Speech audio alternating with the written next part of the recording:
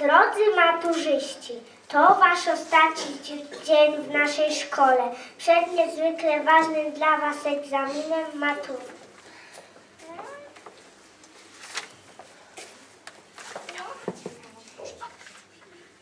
Mamy.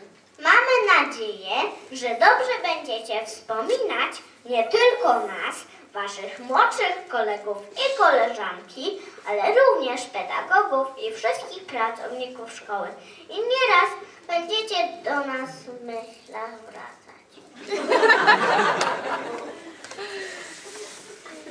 Czegoż możemy wam życzyć? Spełnienia marzeń, obrania właściwej drogi w życiu i dojścia do zamierzonego celu. Adam Asnyk napisał, życie jest biegiem, staraj się o to, abyś je dokończył.